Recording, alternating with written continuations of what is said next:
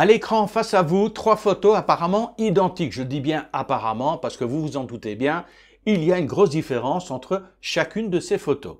Alors bonjour, non, ce n'est pas un jeu des 7 erreurs. Ici, on a une différence entre ces trois photos. C'est pas une différence de taille puisque les photos sont exactement de même dimension toutes les trois. Ce n'est pas non plus un problème de qualité. Vous voyez, la qualité de l'image est excellente pour les trois clichés. Ici, la seule différence entre ces trois clichés, c'est le format de compression et donc le poids final de la photo. Avoir un poids ultra léger pour des sites internet ou pour des envois de fichiers, c'est quelque chose de primordial. Alors vous connaissez tous le premier format. Ici, on a un format JPEG. C'est celui qui est utilisé dans plus de 95% des sites internet. Donc à la base, j'ai une photo initiale, vous verrez ça dans le tutoriel. À la base, j'ai une photo qui fait 1,3 mégas, donc un poids énorme. Donc j'utilise d'abord la compression JPEG pour tester et la compression JPEG m'a permis, la réduction de poids me permet de réduire la photo et d'avoir un poids de 112 kg.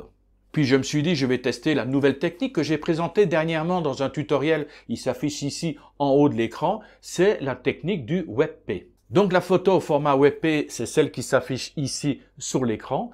Donc j'ai repris ma photo initiale de 1,3 mégas, je l'ai compressée au format WebP et là ça m'a donné un poids de 60 kg. Ah ben oui, 121 kg pour la première photo, 60 kg pour la deuxième photo, 50% plus légère, c'est quand même pas négligeable. Hein alors je change de place et là nous avons la troisième photo et vous voyez qualité identique et pour cette troisième photo un autre format de compression. Donc j'ai toujours pris ma photo à 1,3 mégas et ensuite je l'ai compressée avec le format AVIF. Et grâce à ce nouveau format de compression, j'ai réussi à réduire le poids jusqu'à 31 kg. Quatre fois plus léger qu'un format JPEG, c'est incroyable. Vous imaginez tout le bénéfice pour vos sites internet? De plus, le format AVIF fonctionne également pour les images transparentes. Donc vous savez, avant on voulait incruster un logo, on le faisait en forme PNG pour avoir la transparence autour du logo. Mais le PNG, c'est quand même un poids relativement lourd. Ici, on pourra réduire le poids des PNG parce que le AVIF permet également la transparence. Mais bon, assez parlé. Comme je le dis souvent, un petit tuto vaut mieux qu'un long discours et donc on va de ce pas sur mon écran d'ordinateur. Alors pour ce début de tutoriel, nous allons passer très rapidement par Photopea. Je clique sur ouvrir depuis l'ordinateur, je vais chercher une photo, je vais sur mon disque dur externe, je vais sur Top Tuto Web, je vais dans mes rushs numéro 5 et là j'ai ma photo en plein format, format JPEG et la photo est à 1,3 mégas. Je clique sur ouvrir, je ne retouche absolument à rien, la dimension, taille de l'image, c'est une image de 1500 par 910 pixels, donc une grande image, hein, vous le voyez déjà sur l'écran d'ordinateur comme ça, c'est vraiment une grande image. Je fais donc fichier exporter en tant que JPEG. Je vais réduire la qualité à 70%. Je fais enregistrer. Je vais l'enregistrer dans mes rushs numéro 5. Je vais l'appeler 01 et c'est donc au format JPEG. Je clique sur enregistrer. On est toujours sur la même photo. On fait fichier exporter en tant que WebP. Je clique toujours en plein format, la qualité à 70 et je clique enregistrer. Et là, dans les rushs numéro 2, je vais la nommer 02, enregistrer. Maintenant, je vais dans fichier, exporter en tant que, je cherche, je cherche, je clique sur plus, je cherche. Il n'y a absolument pas le format AVIF sur Photopea. Mais ne vous en faites pas, je vous ai déjà trouvé une alternative gratuite qui va vous rendre de très grands services. Pour ce faire, nous allons sur un site qui s'appelle fabconvert.com. Je vous mettrai le lien en bas dans la description. Alors là, ici, on est sur la version anglaise, donc je vous mettrai le lien ici. Vous voyez, on peut changer de langue. Je vous mettrai le lien de la langue française. Alors c'est un convertisseur, il peut convertir tout type de fichiers. Regardez ici, type de fichier, image, vecteur, modèle 3D, documents, vidéo, audio, archives, livre électronique. C'est incroyable, on peut vraiment le classer parmi les pépites et c'est gratuit. On va aller dans Meilleur convertisseur. Et là, on a l'onglet AVIF. Je clique. Il me demande de sélectionner les fichiers. Je vais aller chercher la photo plein format. Alors, elle est ici, plein format. On est bien donc sur la photo 1,3 mégas. Je clique sur Ouvrir. Et puis, il me demande de convertir. Alors là, peut-être que vous aurez ce tableau-là complet ici et vous choisissez, il y a tout, image, vecteur, modèle 3D, document, archive. Vous sélectionnez image et dans image, vous sélectionnez AVIF. Donc vous demandez tout simplement de modifier le format JPEG en format AVIF sans changer la qualité et sans réduire la taille. Je clique sur convertir, il tourne quelques secondes Il me reste plus qu'à télécharger l'image. Je clique sur télécharger. Là, il me met un long titre. Je vais juste mettre 03, 03.avif. Je clique sur enregistrer. On va aller voir directement dans mes rushs numéro 5. La photo au format JPEG, on a bien 112 kg. La photo au format WebP, on a 60 kg. Et la photo au format AVIF, on a 31 kg. Alors j'ouvre ma messagerie afin de vérifier s'il est possible d'envoyer des photos AVIF directement par email. Je clique sur Joindre, je vais aller dans mes rushs numéro 5, je sélectionne 03.avif, Ouvrir, Envoyer. J'ouvre maintenant ma messagerie et effectivement j'ai bien reçu la photo en point à vif. Regardez la taille 29,8 kg et regardez la qualité d'image, la taille et la qualité d'image et avouez que ça vaut vraiment la peine. Alors vous allez me dire, Olivier, c'est quand même un peu fastidieux parce que t'imagines, on doit chaque fois aller photo par photo pour les compresser au format à vif. Non, regardez, on retourne sur le logiciel. On est de retour sur FatConvert, je clique sur Recommencer, sélectionner les fichiers, regardez ici, un maximum de 20 fichiers peuvent être téléchargés. Je clique, je vais aller chercher les anciennes photos, elles sont toujours sur mon bureau, taille web, web, c'est toutes les photos que j'avais transformées au format WebP. Donc des photos qui sont déjà compressées. On va voir si on peut encore réduire le poids. Je sélectionne toutes les photos, je clique sur Ouvrir, il y a 13 photos. Et voilà, ça commence. Alors, convertir en masse, image, à vif. Voilà, il m'a tout changé en à vif. On a la photo initiale et on a le poids à côté, 60 kg, 113 kg, 38 kg. Je clique sur convertir. Et maintenant, je clique sur tout télécharger. Donc, je vais le nommer LO. Et regardez ici, il me le télécharge en .zip. Je clique sur enregistrer. Je suis de retour sur mes rushs numéro 5. Je vais dans lo.zip, je double-clique et voilà, toutes mes photos ont été changées en point à vif. Et regardez, les photos ont bien été compressées, donc encore plus léger que le WebP, c'est vraiment incroyable. Avant de passer à la suite de ce tutoriel, revenons rapidement sur FabConvert. Là, par exemple, je vous ai présenté comment compresser du JPEG vers le AVIF, mais vous n'êtes pas obligé de prendre du AVIF. Je vous montre tout de suite. Je sélectionne les fichiers ici. Je vais prendre quelques miniatures ici qui m'ont servi pour mes tutos en 2023. Je clique sur Ouvrir. Donc là, je monte un petit peu, histoire qu'on y voit un peu plus clair. Donc là, j'ai toutes mes vignettes. Je clique sur Changement en masse. Je vais dans Images.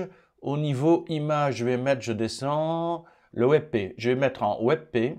Voilà, donc toutes mes images vont être transformées de JPEG en WebP et je clique sur Convertir. Alors pourquoi utiliser éventuellement du WebP à la place du AVIF Je vous montre ça maintenant dans la suite du tutoriel.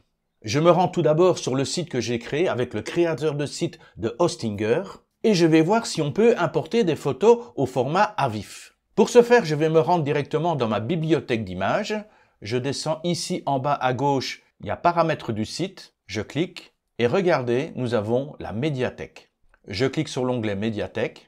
Alors pour ceux qui ne connaîtraient pas encore le créateur de site gratuit de Hostinger, j'ai fait un tuto complet là-dessus. Je vous mets le lien, ben, il apparaît ici en haut de l'écran et je vous mets également le lien en bas dans la description. Revenons à nos moutons. Donc sur cette médiathèque, nous avons déjà toutes les photos que j'ai téléchargées. Je vais maintenant cliquer sur téléverser des fichiers. Dans mes rushs numéro 5, j'ai le format JPEG, le format WebP et le format AVIF. Je vais télécharger les trois photos en une fois. Je les sélectionne et je clique sur ouvrir. Voilà, téléchargement. Ah ben non. Regardez, le format JPEG est passé, le format WebP passe, mais le format AVIF ne passe pas. Je vais regarder dans détail. Non, il n'y a rien du tout. Donc apparemment, pour l'instant, le créateur de site gratuit d'Ostinger ne permet pas les formats AVIF, mais par contre, il permet... Oups, je reviens, j'ai fermé ma médiathèque, pardon. Je la réouvre.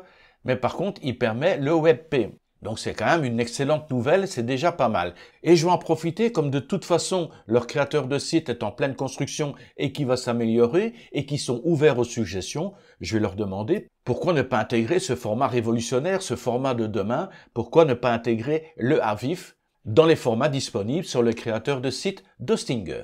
Maintenant la grande question, est-ce que c'est possible de faire la même chose avec WordPress Est-ce qu'un format AVIF pourra s'intégrer à WordPress? Alors, je vous donne la réponse tout de suite. Non, initialement non, mais, mais, mais, mais, je vous ai trouvé une solution. Et dorénavant, grâce à une petite extension très légère que je vais vous présenter tout de suite, vous allez pouvoir mettre du AVIF sur tous vos sites WordPress. Et j'ai déjà fait l'essai, on peut regarder le site sans aucun problème à partir de Chrome, à partir de Safari, à partir de Brave, donc à partir de la plupart des navigateurs, vous pouvez lire les sites internet qui intègrent des photos en AVIF. Nous voilà donc sur le tableau de bord de mon site Top Tuto Web. Il est vide pour l'instant, ça me sert vraiment à faire des tests. Alors si vous ne connaissez pas encore WordPress Elementor, ne vous en faites pas, je vais bientôt faire un tuto qui va tout vous expliquer. Bientôt, ce n'aura plus aucun secret pour vous. Donc voyons maintenant comment mettre une photo au format AVIF sur WordPress. Je vais d'abord aller sur ma page de test. Page, toutes les pages, page test, et je vais la modifier avec Elementor. Je clique sur Ajouter un conteneur. Je vais prendre celui de 4. Ouais, mais je n'ai que 3 photos. Allez, je vais en supprimer un. Voilà, comme ça j'ai un, deux, trois emplacements pour mettre mes photos. Euh, je vais centrer un petit peu tout ça. Je vais dans mon conteneur.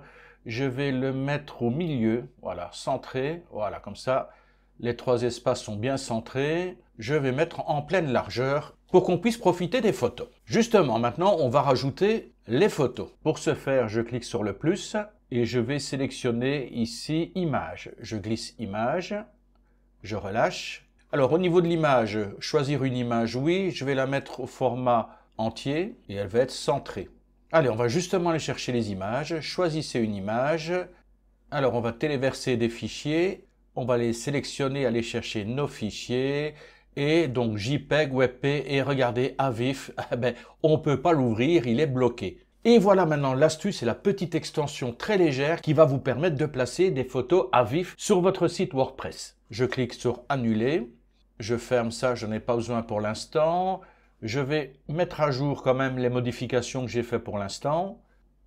Je vais revenir à WordPress, à mon tableau de bord. Ok, c'est super.